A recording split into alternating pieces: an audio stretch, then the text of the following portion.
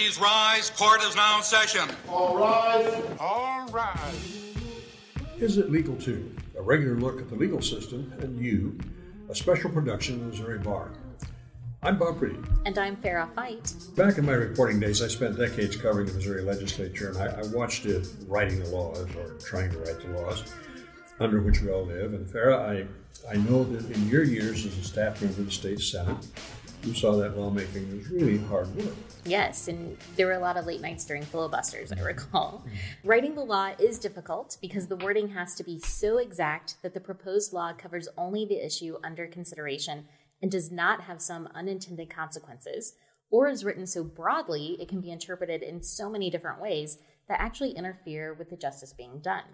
Now, we're recording this edition of Is It Legal To at the annual meeting of the Missouri Bar and our two guests are speaking at the main session on the issue of legal innovation. Please introduce our folks who will be talking about the steps that are being taken to make the legal process easier to understand. That Bob. Um, our guests today are Ayyoub Ajmi and Nicole Fisher. Ayyoub is the Director of Legal Innovation and Technology at the University of Missouri Kansas City School of Law. Go Roos. Yeah.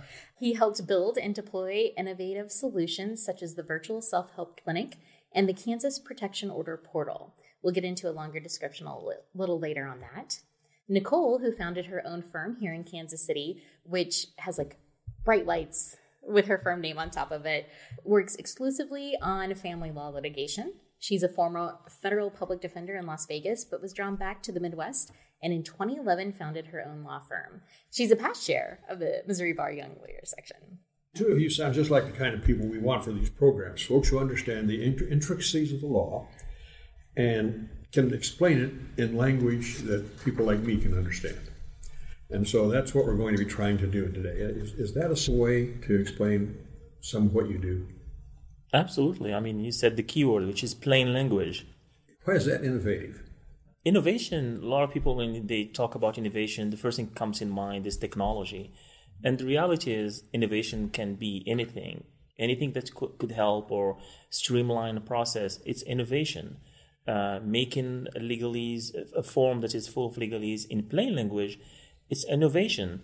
Um, creating a guided interview is innovation. Changing a process is innovation. So innovation takes a lot of places. Technology is just one piece. It's my specialty, but I always want to remind people that you too can innovate. You don't have to be programmer or computer science major to innovate. Three, three of my reporters have become lawyers. And they said they all said the first thing they had to do was learn how to write differently. Yeah. So are you kind of reverse engineering some stuff here?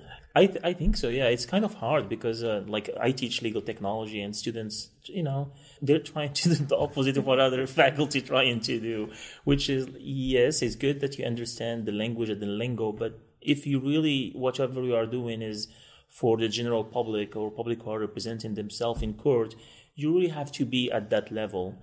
And it does. It's, it's not really has to do with education. It's like when you get a contract and then you don't understand what's in it and you just sign it, and or it's it's a law now. Public uh, in uh, uh, uh, public documents has to be written in plain language. Websites has to be written in plain language. So it's it's more popular. So I don't think lawyers or, or students think of it that way anymore. So they understand the necessity of writing something that anybody can understand. In your practice, you spend a lot of time interpreting the law for the people you deal with. Correct. And so I always try to keep in mind, and I always say this to all of our associates, is we don't have corporate clients. That's not who we're serving. We're serving the everyday person. And so just like when you go to your doctor, you don't know all the all the terms that they're going to use for you there. Please use terms that people understand put it at a, a, surface level that they understand what's going on. And I think it takes away a lot of their fear of the process. And that, yes, we write in this way, but a lot of times when I write emails, I write in a very different way. You practice in family law, which is probably the area of law that most people have interaction with when they have a legal issue. Um, how important is it for there to be, I guess, clarity and ease of understanding when you have complicated or dissolutions of marriage or child custody agreements. Well, I think that that's honestly what separates some family law attorneys from others is that can you come down and talk to the average person going through maybe one of the most traumatic experiences they've ever been through. Can you provide the empathy with the clarity and make them feel confident they're being taken care of? And if, in my experience, if I'm talking like a lawyer, like I would to another lawyer, that's not happening. They need me to talk very differently, and that gives them so much more ease and trust in the whole system. Is that the biggest challenge lawyers face? Is, is translating the law to their clients? I mean, there's a lot of complications you guys have, but is that one of the big deal, Well, biggest think- deals you have when? You Well, I guess it depends. I mean, it depends who you are working with. Of course, if uh, I'm, I'm assuming if lawyers were talking to each other or in a professional setting in the courtroom, they don't really need to go to that plain language level. But uh, when you are dealing with the public and, and like I said, self-represented litigants, I think it's necessary. Sometimes you may even need to have a, a different language altogether, not just plain English. So so that's that's really the reality. I mean, when it comes to the users of the court, especially in civil litigation, that's that's those are the issues they they talk about. Like we did surveys of the courts, and then we asked court clerks and judges of what are the issues that people are facing, and three things always comes to mind: they need forms, they need assurances, and they need to understand the law. Always everywhere. So i did the survey in kansas i did it in nevada and there are i i, I researched other jurisdiction. It's always those three. Um, so i think it's just fair. So if i'm gonna pay for service at least i understand what's going on So, in so many things as a consumer, I can kind of like sign in, interact online, maybe never even need to speak to a person. I can have maybe an autofill, my name, address, some of the basic information. And then there's a series of questions that'll collect the information. It does a lot of, feels like it takes a lot of the pressure and work off of me, other than entering the right information. Um, how does the legal industry compare to other industries and this type of ease of use? I feel like we're kind of dinosaurs, to be honest. I think that we're very behind. I think that's for a number of different reasons. One being that lawyers are extremely busy, they're completely stressed out, and to think that they're going to make all the court deadlines, make all their clients happy, and then on the side, make all these innovations in their practice, they're just not that interested in it. I will say, you know, I represent a broad base of people. Some people are very tech savvy, and I try to kind of evaluate those people that I'm like, they will love the portal we have. That's great. But then I also have people that I'm like, oh, this portal's going to freak them out. And they're just trying to put one foot in front of the other. They don't even know how to scan a PDF. So that's one of the things I'm doing in intake. And then I kind of make a note to my paralegal like, this person's far more into portals. And I think it'll be, they'll love it because they can always see what's going on in their case. This person doesn't even know how to make a PDF. So email is a stretch for them. So I think that, especially when you're representing real people every day, you kind of have to be cognizant of where they are at for their technology advances. Yeah, I think I think again the the need is huge of people who need help, people who need legal help, and it's not like they can't afford it. Sometimes it, there is no help. There is not enough attorneys in certain areas or in certain practice areas to help, uh, or the time you need them, or pandemic, for example, or something like that. So there has to be other ways of interacting with the court and accessing the justice system. Having portals and having technology is one way. We should use any solution we can to make uh, justice accessible to the majority of people. We've had some past episodes where we've um, we actually have done two episodes on expungement law and how it's been expanded over recent years. And I know one of the elements in that statute was um, a form that was supposed to be you could be able to create it and ideally submit it w- without the assistance of a lawyer if you chose not to work with a lawyer on those expungements. We've done two or three past episodes on elements that have been created through statute that have been aimed at making court elements very accessible to the public and hopefully very easy. One is expungement, and the idea there was that uh, individual who is seeking expungement would have a form they could fill out and not even necessarily need the aid of a lawyer to do so. Um, the same with orders of protection. Um, but yet, in the episode where we talked there, they described that uh, still today that most people who want to fill out an order, order of protection are going to the courthouse, going to the circuit clerk's office, filling out you know a paper form where they're checking boxes. What are some ways that innovation uh, can improve these processes? And, and do you have some examples to share? Absolutely. I mean, those are two examples that I'm, I'm very familiar with. Uh, so let's start with the expungement. So the law, the, the most recent change of the law in 2019, it became more accessible, but then we learned quickly at UMKC School of Law because we have an expungement clinic uh, that it's not that easy when it comes to uh, going through the process of checking someone's eligibility to expungement. It requires doing background check. Uh, our hope was that we can automate that. We can have it online so uh, people can do it on their own because the reality is petition based is not going to be enough. It's going to take hundreds of years to do it one by one. So we had there, you have to have automation, and unfortunately, like in Missouri, it's not possible at this time because when you need to look at someone uh, criminal records, you can't just look in CaseNet, for example. You have to look everywhere, and those systems are not connected. So there is really no way to automate in that. That's why I always say, well, technology is not always the solution. Like we have technology and we have the resources to build the tool, it's not going to work because there is no way to know if someone has municipal offenses. You have to go to the municipality to, to research that. Um, for protection order, I, I listened to the to the episode and it's good, but it's not good enough. We can do better. The reason is, if I remember correctly, you still have to go to court to file for protection order. Or sometimes I, I'm not really sure about Missouri, but I know in some jurisdiction I think uh, I remember a study in uh, North Carolina where they have this beautiful system that you can do file for protection order uh, online, but you have to go to a shelter, and an advocate in the shelter will fill fill the form for you. That much sounds may have sounded like a good idea at that time, but then COVID hit, and how am I'm going to reach the shelter, or what if I'm in an abusive relationship and I can't leave the home. So there is so many uh, obstacles that it's good solution, but it's not good enough. And then when you look at all the resources we have now, when you look how you interact, how you use technology to buy stuff that show up from different continent in three days, mm-hmm. or how you can be date someone in in minutes and using an app well, why is it so hard? It's so easy to date someone and it's super hard to file a protection order against someone you are dating, for example.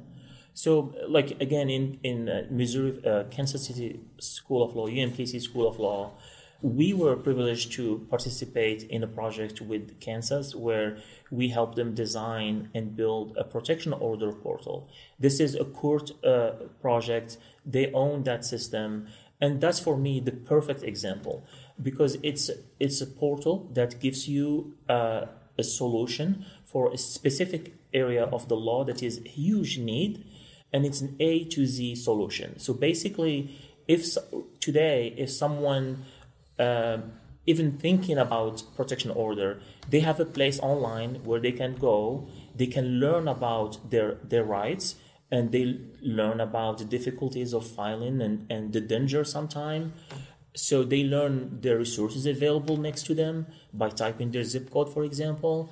And then if they decide to file protection order, they can do it from the same website. They can first start with an eligibility that tells them which form they need to file, and then they can file it. And on top of that, they can electronically send it to the court. That's that's a full solution, and that's what I, I wish we have that for every area of the law in every state because like the success of that project thanks to the the buy-in of the court and the judges and the clerks it's saving lives. And then and i always want to remind uh, people that yes we are doing it to the users but there are other people who are benefiting from this system. Judges are benefiting from this system.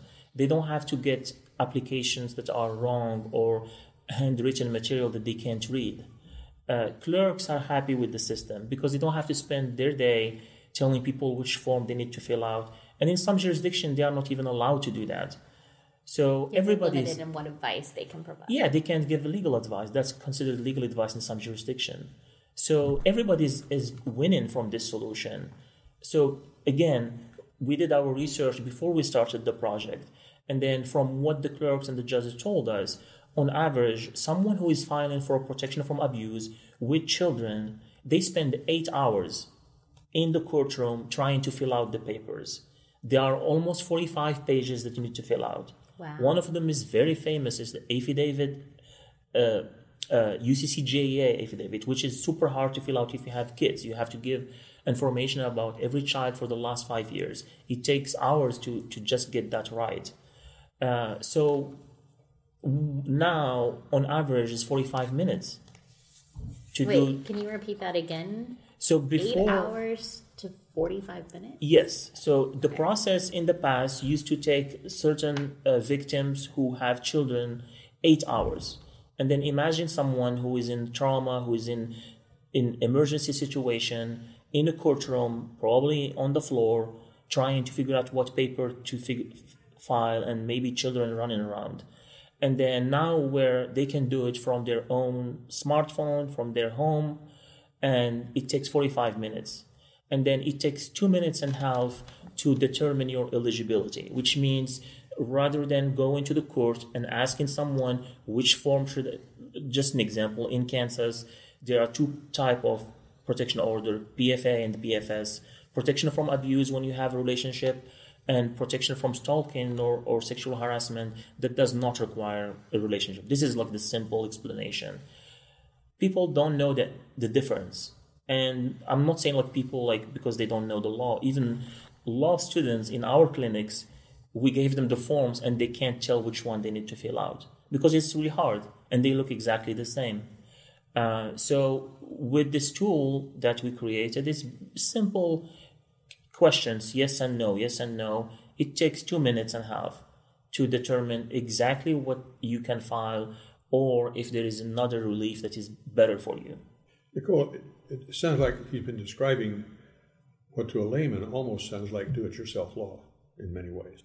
From your standpoint, from your practice, where where is the line supposed to be between do it yourself law and when you actually need somebody like an attorney to do this for you? Well, I think that can be really hard because even though they can file the order protection themselves, sometimes going to court, they don't know the, the procedure of it. They don't understand that certain elements have to be met for the judge to determine that, like, there needs to be a PFA or a PFS.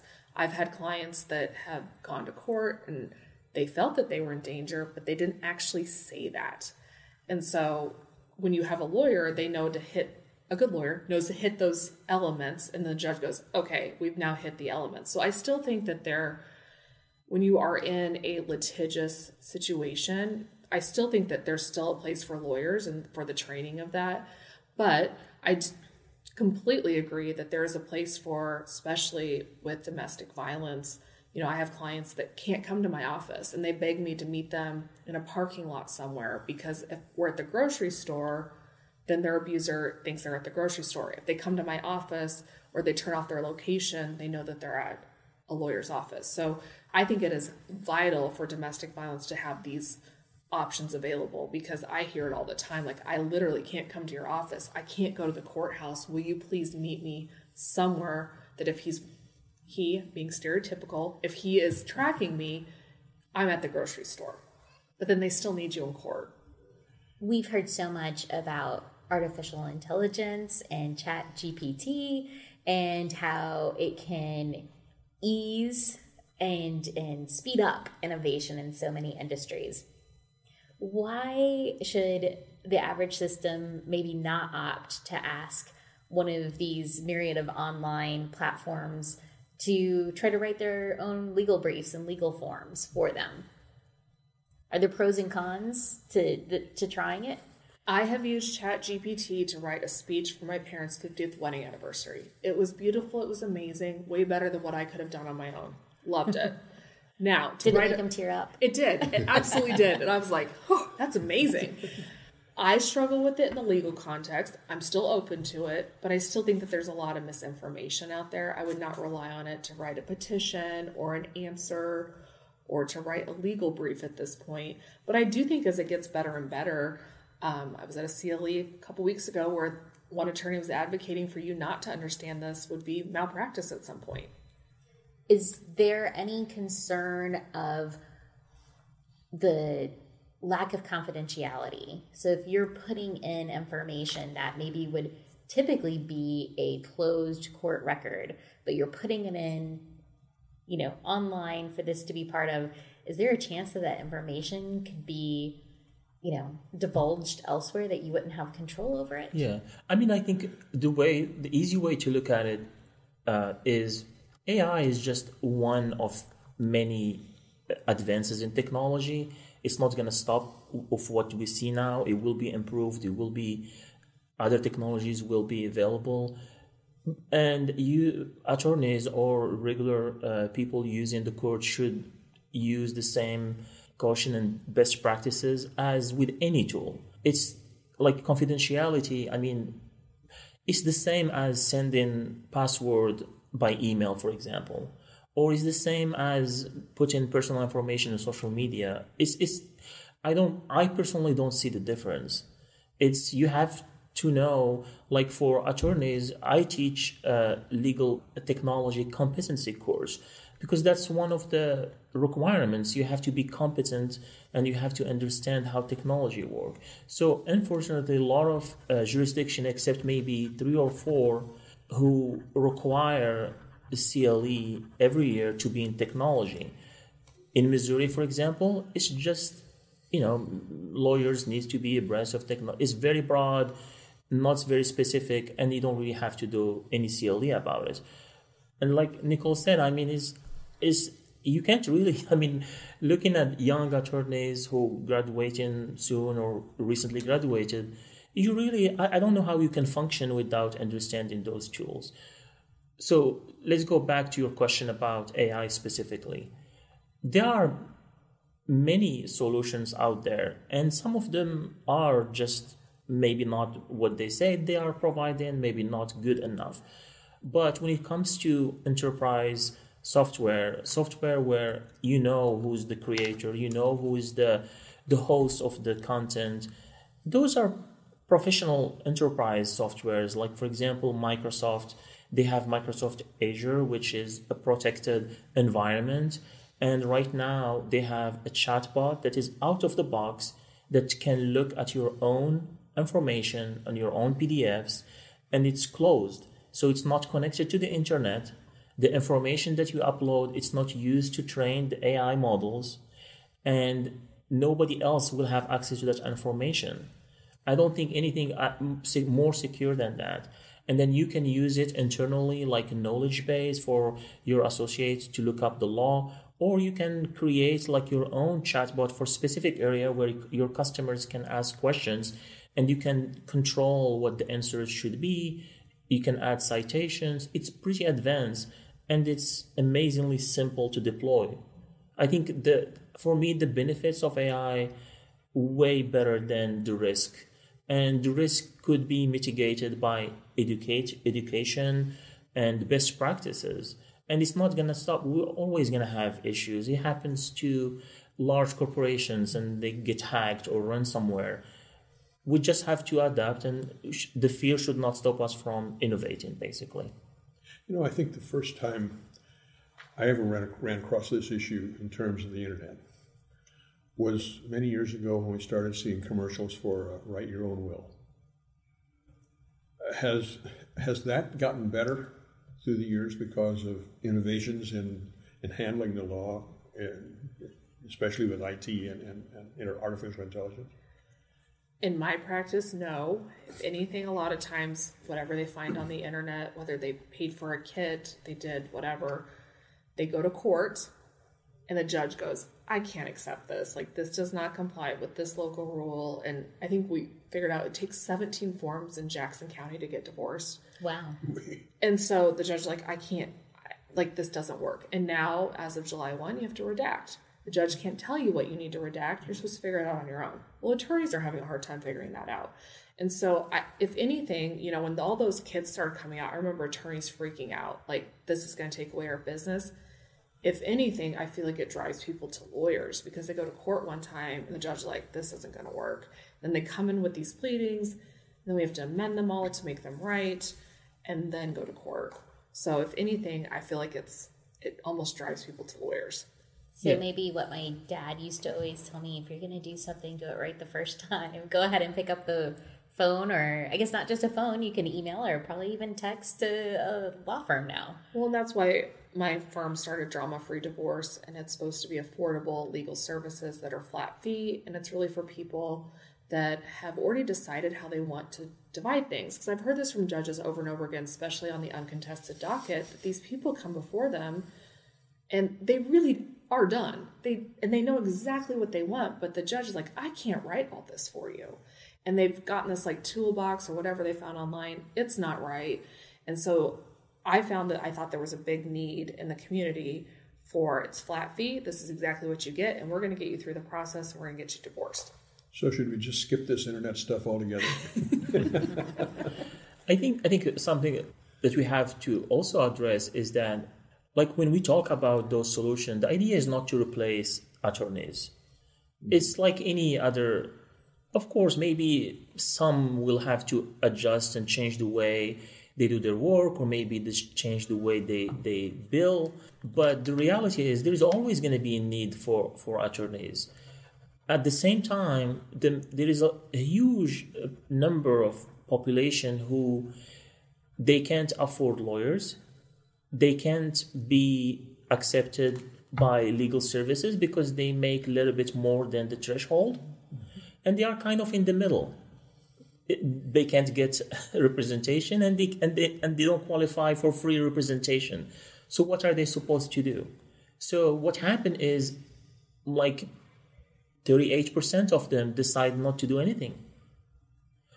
And then the majority of them they will do it on their own and then when they do it their own they are against an opposing party who have a lawyer and it's just slow the process because they make mistakes. And it, it doesn't work to anybody.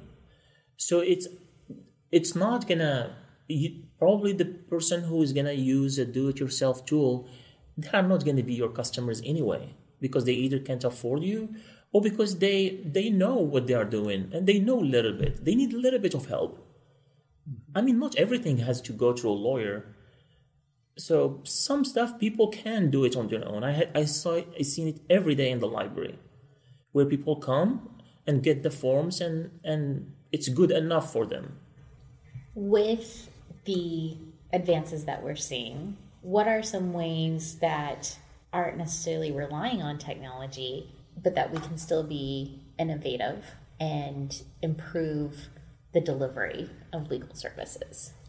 Well, I think COVID honestly accelerated a lot of it. Before COVID, the only county that I practiced in that would let you submit by affidavit was Jackson County. And by that, I mean you didn't have to go to court to have your final divorce hearing, which for some people it's it's an expensive morning. They got to take off work, they got to find childcare, or and they're paying their lawyer a lot of money to just basically put something on the record that we could have just put an affidavit. And I saw over COVID a lot of counties that I thought they'll never change because that's just how they've always done it. They all started changing. And so I think that is one great way that each county in Missouri can make legal services more um, more available to the everyday person by allowing people to get divorced by affidavit. We don't have to go to court for everything. That, that's an interesting point. Can you give me three or four examples of things that happened during COVID that improved this whole innovation process. That COVID made the system more Yeah. innovative. Put it on the bullet train instead I mean, of the, there the is so steam many. engine. Yeah. There is so many, and every time I think about it, I said, "Well, this is really doesn't make any sense. How come? Like just yesterday, you said this is not possible, and now you say it's fine, and then four years later, it's still fine." Well, one example is video conferencing for talking to your customers or talking to uh, attending hearings. Uh, WebEx and Zoom and other video platforms are heavily used by courts, and they are not going anywhere. And I think I don't I don't even know if they were available before COVID. and then other things is which is really what I would love to see progress in is basically courts changing certain rules.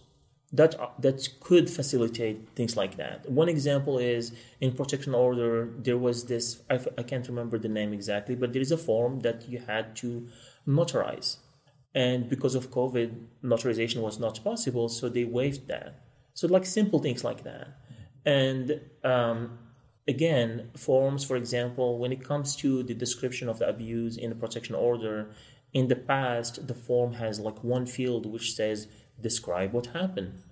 And then you have to figure out how to say it. Well, that form now has changed, and then instead of saying describe what happened and let you figure out, they ask you, can you say the date of the first incident, the location, and then describe what happened, and then the date of the second or the worst incident. So it kind of giving you a little bit of help. So those are small changes that doesn't really change anything, doesn't really impact much, but the on the other side, it makes makes access uh, justice more accessible. Missouri's courts have been very focused for decades on making sure that our courts remain open as per our constitution. Um, is there a little bit of a double edged sword to that? Because several years ago through CaseNet, um, they launched Track My Case, where you can, you, you know, your clients or anyone with matters before the court can go in and get like pings, like an email, or I think even a text message saying like, "Hey, there's been another step or a change or something filed with your case." And then with expanded remote public access, which uh, took effect here in 2023, um, it means that not just the kind of docket information is available on CaseNet, but the case files associated that are public court records, um, not protected by law in other ways, are now available not just to the parties, but to everybody. What are the, I guess, benefits, but also challenges that come with so much information readily available to those involved in the system and those watching from afar. I think, especially in family law, there's been some unintended consequences. And I'm not saying that maybe didn't think it through, but it now. I was talking with an attorney last week about it, and she was estimating that it has caused an extra $1,500 on every case to redact stuff. I will say in my own workflow, like I was so used to having things drafted for myself, I'd go in, tweak a couple things, upload it, and I'm done. Well, now it has to go back to a paralegal and they have to redact. And so it's causing a clog on the uncontested docket right now because judges are going, I can't accept this, it's not redacted. And people look at them and go, What does that mean? And there's really hasn't been, in my opinion, enough guidance on what exactly needs to be redacted, what is considered confidential information. At the same time, they're trying to balance people having access to justice again, in divorce law, I'm not a huge fan of that anyone can look up their neighbor's divorce. I don't like that. There's just some sensitive things that are put into pleadings that I just don't think need to be available for everyone. The other side of this is that you could have always gone to the courthouse and gotten this pleading. So you could, if you really want it, you can go get it. Uh, me personally, I'm not a huge fan of this new rule because I think it's costing people more money, and I'm not really sure that we need all that information out there. Yeah, I think I agree with you 100%. Um, my example is with the protection order portal when we we were first researching the what are our options. One of the questions that we received was that this is can be problematic because it's going to make filing so easy that everybody going to be filing protection against people they don't like. I mean, the concern was that it was going to be overused or maybe abused. Yes, abused exactly. That didn't happen. So f- almost four years now, that's not the case because, like Nicole said, if someone wants to do it, they can do it with the old way, paper and filing by paper. It's the same thing I feel like with with the with the uh, remote access. Um, I don't think someone just because the files are now somehow easily accessible that people are going to start looking up other people information divorce information and probably those who need who want that information they can do it with this rule or without this rule, even before they have ways to do it. But I'm also concerned about the redaction issue, especially from the self help litigant perspective, which is uh, for me, I can, this is impossible now to do. So at the UMKC Law School, we have self help clinic, which is a collaboration with Legal Aid of Western Missouri. And then we do um, limited scope representation and we have volunteer attorneys who are judges who meet with uh, with clients again using Zoom and remote uh, tools. Just for our, lim- our listeners, limited scope means that attorney might review your paperwork or briefings, Exactly. but they don't actually go to court with you and appear. Hundred percent. So basically, I'm your attorney for the duration of this meeting, and then once this meeting ends, we don't have relationship. So that's what what I mean. And then often those s- small claim cases and minor issues, they they ended up with a form or something that they need to file. Well, now it's becoming really hard. I mean, not just figuring out what to redact. The process itself, there is two forms that you need now. You need to add and how are you going to redact them? You're going to redact them by Sharpie. Do you know that there is a famous case? I think was Samsung or some of the electronic uh, uh, companies where they redacted some papers using Sharpie, and then if you scan that Sharpie, you can change the contrast and you can see the text underneath.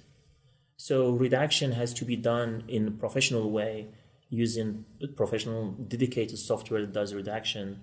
So it's not going to be accessible to mm, regular people who use the court, and those are probably who knows what's going to happen. I mean, uh, maybe they are not going to redact their social security number or personal information. I feel like this is a step, one step forward and two step backward. So it's yeah, the challenges of balancing the goals of the greater legal and justice system with the rights of the individual. It sounds like. Yeah. This this this situation has been developing for a long time, uh, and there's a lot of documents that are out there undoubtedly that now need to be redacted uh, for long-term protection of people. Uh, you can't go back and ask your clients to pay you to redact to, to correct these problems, can you? Well, from what I understand, is that they can't go back in time. So it's everything that's filed after um, July 1 is what's on the table. And then Yeah. every county's being rolled out at different times. So you don't, I mean, I think my county's like November or something, but but we had to start doing it July 1. So that's my understanding is that we don't need to go back in time. Those things will still have a higher level of security on CaseNet. But going forward, you need to, even if your county isn't available right now today, you need to start redacting immediately. Everything before July 1, 2023, you still got to go to the courthouse to get. Yeah, yeah, Yeah. yeah. yeah. As you're talking about legal education, uh, are you satisfied that lawyers who are going through the law schools now are they proper being properly prepared for the the ongoing and on developing innovations that will have to come? Are they are they being prepared to be ready for that? I, I believe so. I can guarantee, um, with my school at least, we are doing the best we could. We and we have been doing this for many years. This is one of the things that drove me into this field. When I was hired, which is um, ten years ago now, I was hired as a librarian. I did not have a JD. I had no interest in legal field. I'm originally from Morocco, and I won a lottery to come to this beautiful country. So I don't even understand the legal field when I came here. It's different than where I come from. And then working with the faculty at UMKC and looking all those uh, projects they do for the community and um, interdisciplinary projects and all of that, it got me really interested. And I have technology background, and I for me it's just no brainer. Technology and the law, you can make, you can change lives uh, in a huge number. Like, for example, the the protection order portal, we have over twenty thousand petition done. If I had to do it by myself, I would probably never reach twenty thousand petition in three years. So uh, it's just the use of technology can have huge impact, and that's how I got interested. And now I'm teaching legal technology courses. I'm te- teaching interdisciplinary courses. When we started, the numbers were for example, in my summer class, I had maybe 10 or 12 students. In the last two years, it like three times more. So there is uh, um, evidence that students are interested and they understand that technology is not like um, before, where it's uh, um, more of a uh, productivity tool and you need to understand how to use Microsoft tools, for example. technology now, like what Nicole is doing, is used to provide a new service that didn't exist before. Uh, that's how technology can can help. And then if you are a law student and you are thinking that once you graduate, again, the work is going to be the same as it was before. Maybe, but for the majority, it's going to be ch- going to be changing. So you have to to equip yourself with some new skills to be ready for for practice, basically. But the young students now are coming out of a climate where they're accustomed to change technologically all the time. So does that make it easier for them to be in a state of mind to feed into the system? I think yes and no. I, I've had, I went to UMKC, love that law school, great job. Um, I have younger associates where I literally had to say to one a couple weeks ago, I don't have paper files, you don't either. You're getting paper files from the file cabinet because I did not realize that we still had them here. Once they're gone, they're gone. Like, I will not order any more for you. So, I still think that there is still kind of a reliance, especially for lawyers, with paper and I need this and I need that. Um, I think it'll transform over time. I think that students that went to law school during the pandemic maybe you know weren't exposed as much to as much technology because they there weren't as many opportunities to clerk. So I think the last thing a lot of law firms were doing was bringing in extra people when we're all working in shifts as it was. Um, but I'm hopeful that over time it'll get better and better. But I still see even really young associates that they have like paper anxiety. They just want their paper. It's, I don't know. It makes me feel like it gives it like more formality or something to it. Correct. So, Well, I mean, there's, I- I'm an old timer, so I, I like to have a real book in my hand. Mm-hmm. I don't like to read tablets. That's the kind of thing you're running into? Yeah, so like at our firm, I hate legal notepads because I feel like you can lose them. I remember when I was a young associate, I'd spend an hour or two every week just trying to organize all my notes from all my phone calls, all my court appearances. So everyone at our firm has an iPad. You write your notes on it and you just upload it into the file. That has been like a concept that people are they still struggle with. And I'm like, I'm not buying any more legal pads. So figure it out. Only clients get legal pads. That's it. and while it seems that that is efficient for you and your associates, does that also benefit the client? I think so because then it's in the file. It's on a paper file. So then the paralegal can go see the phone call that I had and what was discussed or what happened in court. There's not this gap in, well, did you file the notes? Do I have to go to the file room and look at the notes? You know, if the client calls in, they can go to the attorney notes section and all my notes are there. Searchability Yeah, is big, huge. a vital change. Come, let me let me ask you a question. Coming out of my background as, as a guy who watched the laws being written in the legislature as a reporter, how does how can innovation help legislators do a better job of writing the laws to begin with? That's a good question. That's a good question. Okay, I you know, Well, I don't have an answer. I mean, I guess again to go back to my first point, which is we can skip technology and let's just do with what we have, and then let's innovate in in the laws. When laws are written, why are we? Who are? What are we trying to do? And is this outcome the law as it passes? Is it gonna uh, respond to the need that we have? So I think uh, again, innovation can take many places. Uh, I like to introduce design and design thinking, and basically the idea is let's before we jump into a solution, let's sit down and use papers or use whiteboards or use a computer, and let's just put our ideas on one place and then figure out why are we here and who are we trying what are we trying to do? And then that ha- that helps helps it helps in a lot of fields. I don't know why it would not help in legal field. Uh, it just makes everyone uh, on board you understand what's going on there is transparency. And then hopefully the solution that you can come up with at least you know that it's going to fix certain problems. What is the biggest impression that you believe the public has about the legal system that you think innovations can correct or Well- improve? Yeah, I mean, like I mentioned, the surveys we do, and that's what the you- the public are saying. I mean, for example, they need transparency, not transparency, but they need assurances. So when you are in a stressful situation, and especially when you are dealing with forms that you don't understand, you always have that feeling that it's like it's like you want to check that what you did is right and then you didn't miss anything because you know that if you do it something could happen you're going to lose a case or at least your case will be delayed and things like that.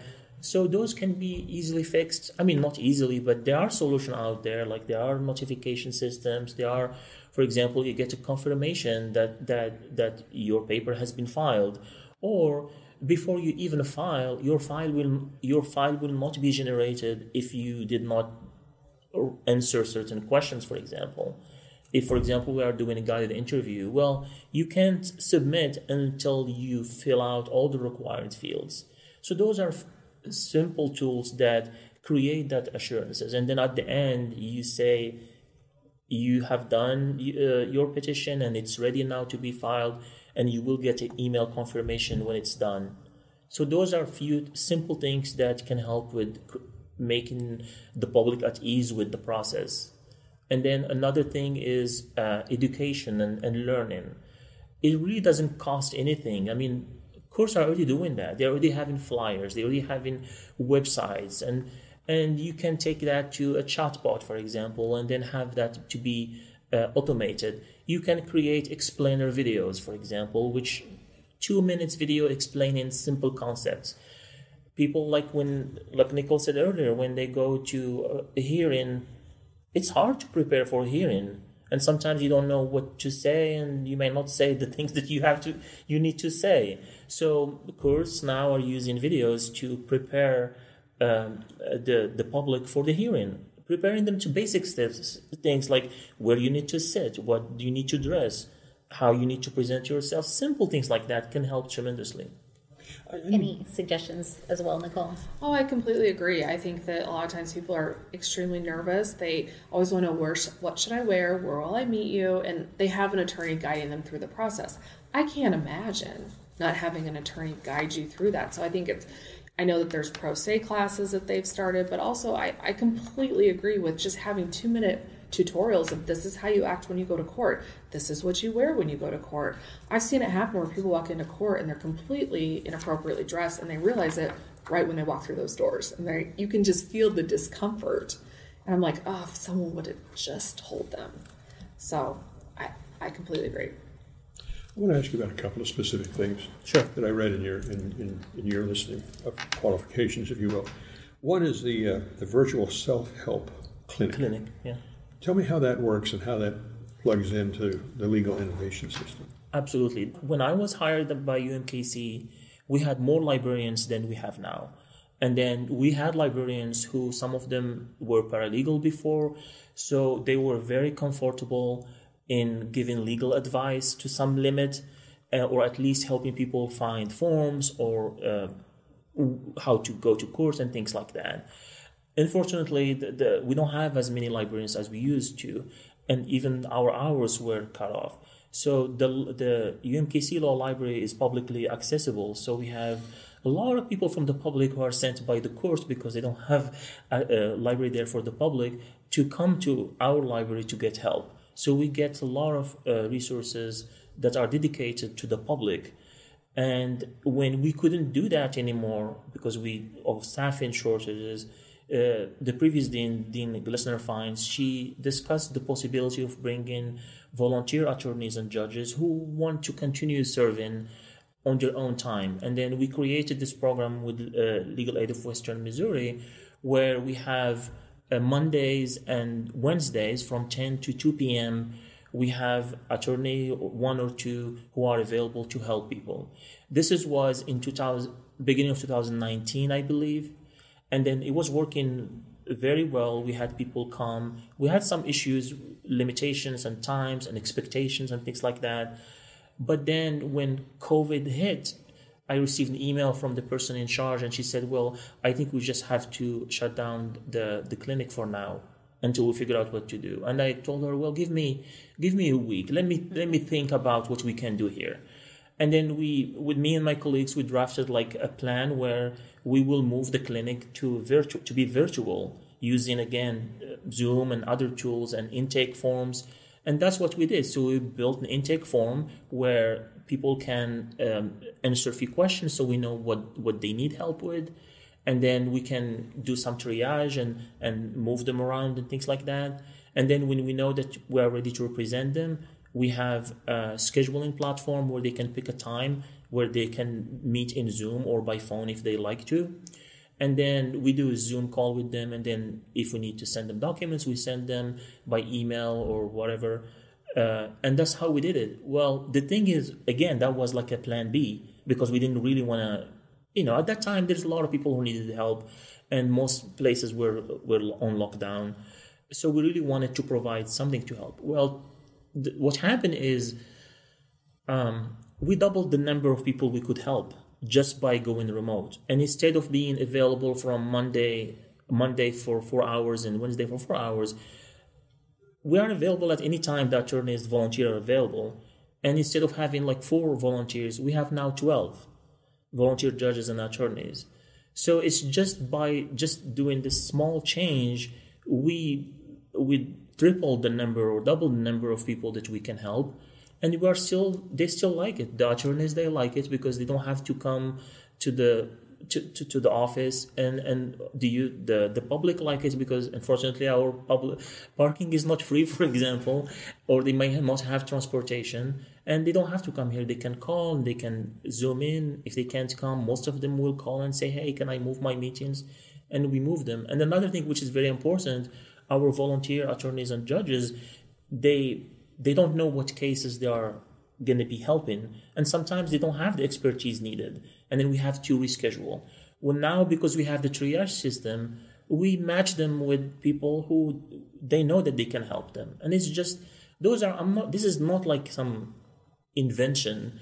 We basically using email an online form and zoom. That's it. Nicole does this does this kind of thing dovetail into anything that you're doing, or does it does it help the kind of people that you deal with a lot? I mean, before COVID, it was unheard of for us to do a initial intake over the phone. No one was comfortable with that. It was just no. If they can't make time to come in here, we're not doing it. And then our whole attitude just changed.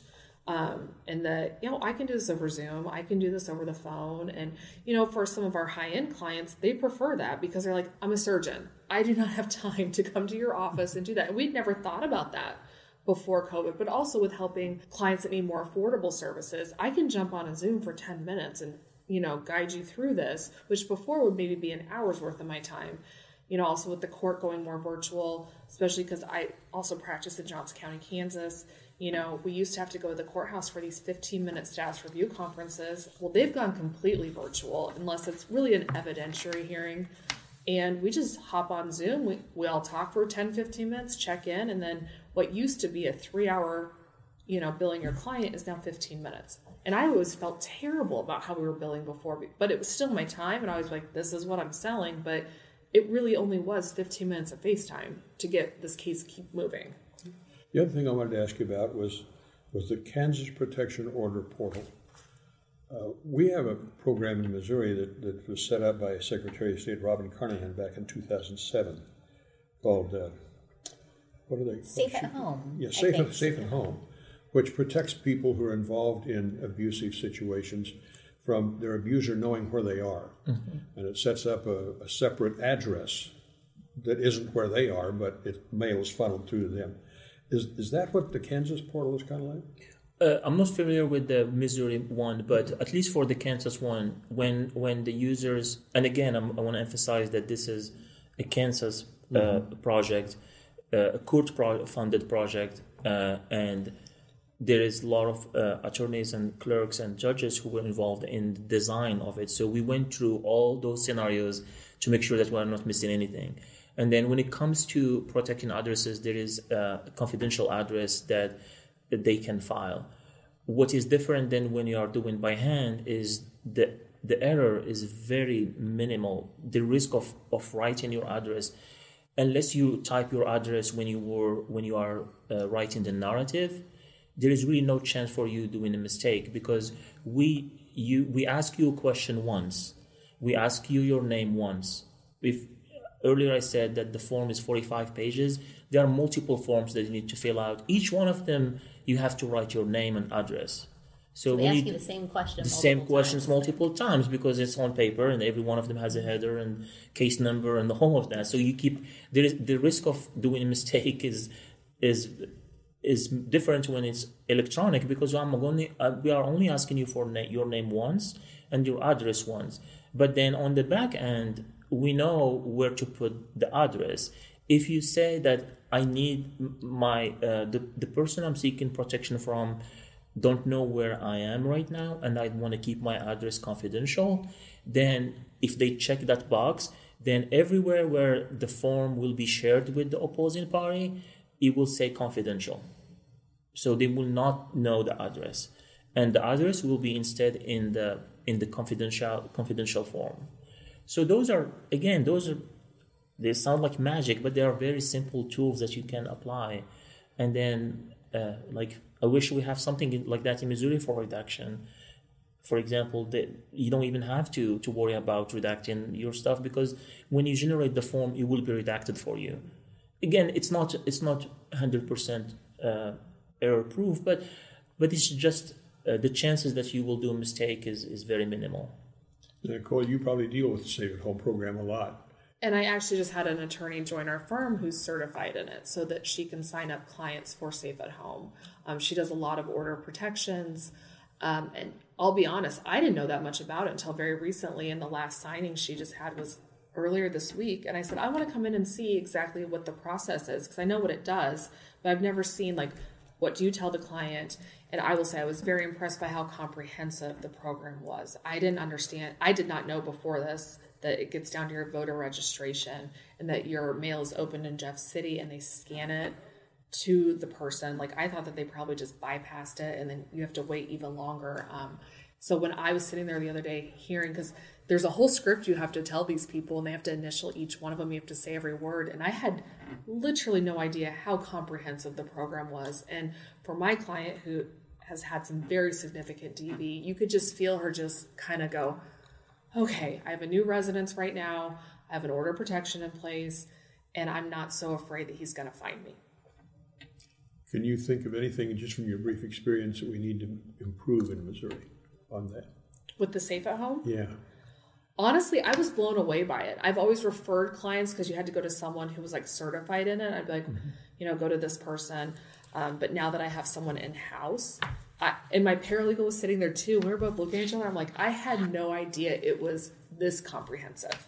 And I could just see in this client just the relief and just her taking a sigh of, and they even get down to when you order Amazon packages, you put your initials on things now, or you use a different name. They'll deliver your stuff no matter what. I mean, so they've been expanding upon it as technology has been growing, but I had never thought about that before that someone might be looking at your Amazon packages to see where you live. You know, that might be a topic for another program sometime. Yeah, I think so. I think so. Um, do either of you have any ideas that are percolating that would be your next innovation that you'd love to see? Well, I'm, I'm still hoping we can get the the expungement uh, application here in Missouri. So we are working uh, UMKC with the expungement clinic. We're working on a do-it-yourself expungement tool for the public, where they can file. Uh, at least they can generate the expungement form on their own. Uh, there is a huge need on that, and it always reminded me how um, I was talking to someone, and I always think like, okay, we are doing this because people can afford lawyers, or because they don't have the mean to hire lawyers. And I was talking to someone who they said I can pay whatever they want. The problem is I don't really know what to file. It's not really a problem of of uh, uh, if they can afford it or not. It's basically the, the law is complicated, and what how what they need to put in form is very vague. That they need help with that. So we are hoping that we can get this application ready, uh, hopefully this year, and we are planning to do some testing. Uh, other uh, projects which I'm, I'm involved in, I'm involved with the state of Nevada, with the Supreme Court, where we are building a portal not just for protection order, but for uh, several other areas of the law to educate people on, on certain areas of the law, providing them links to resources, and helping them generate forms and file them with the court. Excellent. Nicole, any any next ideas that you want to implement? I would just say that um, our ethical rules, I think, need to catch up with the times. I know that I hit some roadblocks early on with our new firm, Drama Free Divorce, where I had to employ counsel for this, and I'm calling the Missouri Bar about this, and I'm calling the bar plan about this, and everyone was super encouraging, but they're like, yeah, we got to figure out how we're all going to comply with all these different things, and uh, it just made me see that especially Missouri, our ethical rules for lawyers, I don't think have caught up with the times. I have friends that are practice. I actually practice in Nevada. They're a little bit more ahead of us.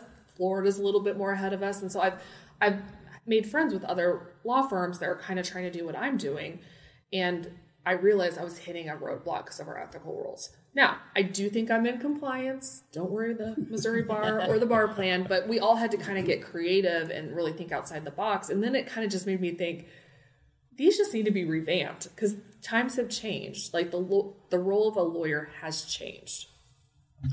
You know, Farrah, this is another one of these programs we've done that has gone a completely different direction than I thought it would, and it's been terrific. Yes, in a delightful way. Yes, I, I'm glad that you both spent time with us today.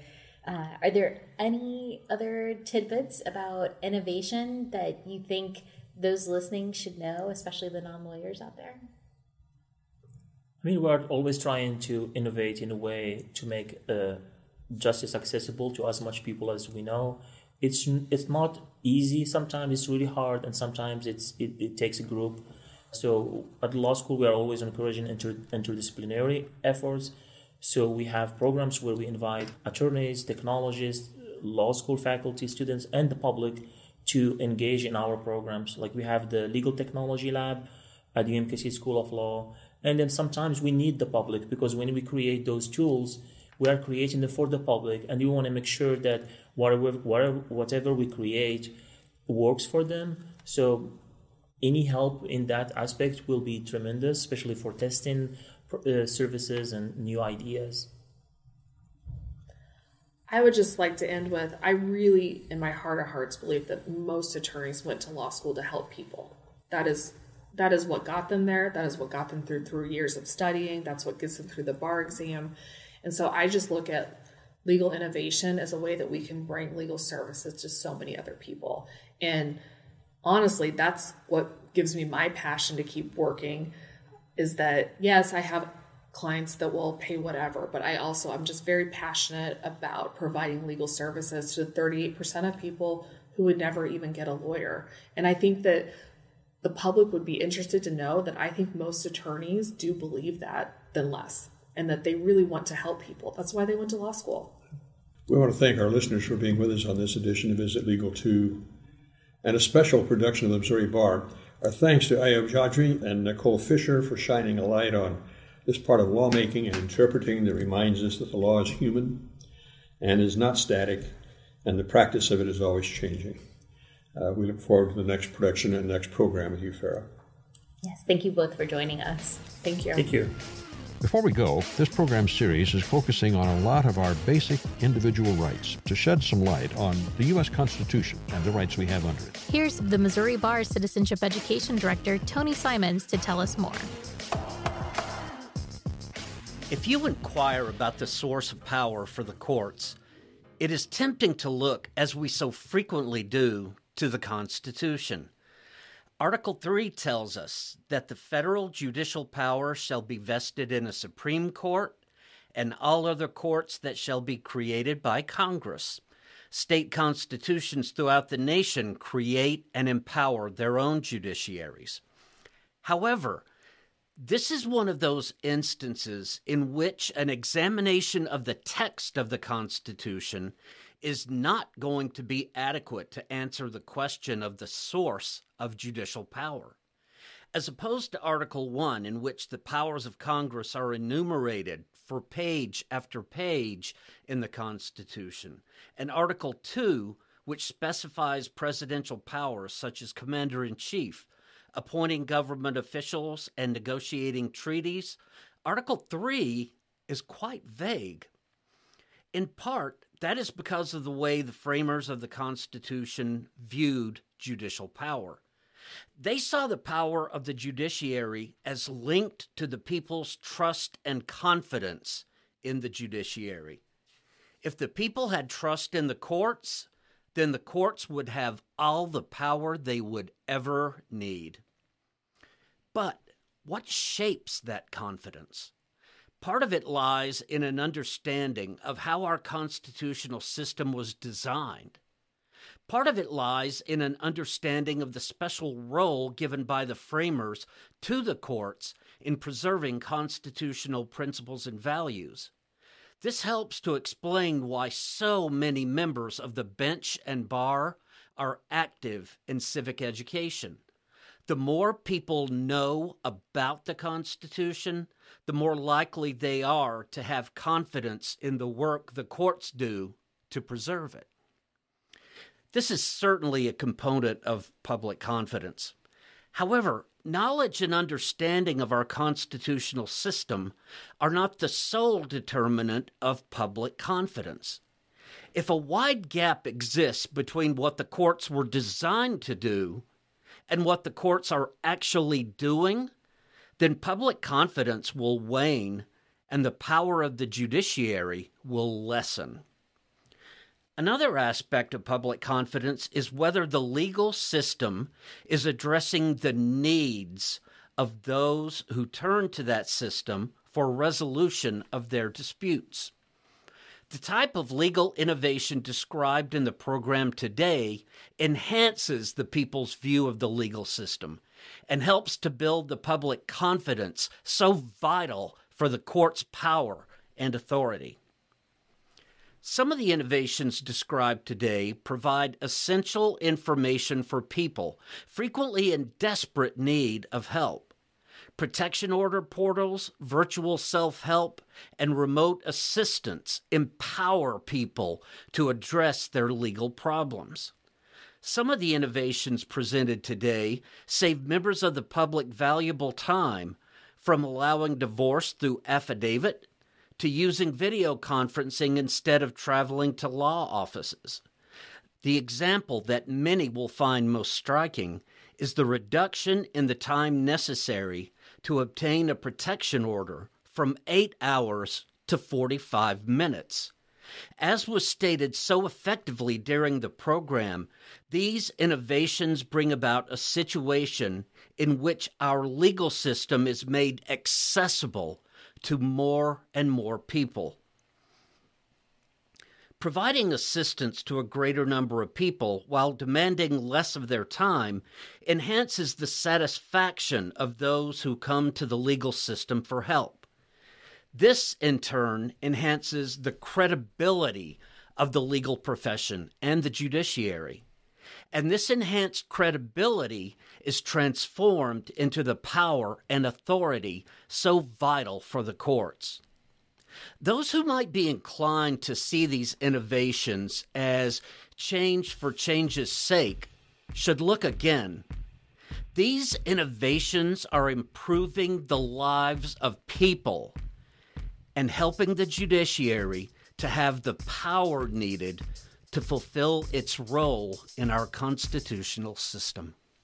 There's some resources you might want to check out if you want to explore this topic more or be connected to some of the great resources that were discussed today. Just go to MissouriLawyersHelp.org. That's all one word, MissouriLawyersHelp.org.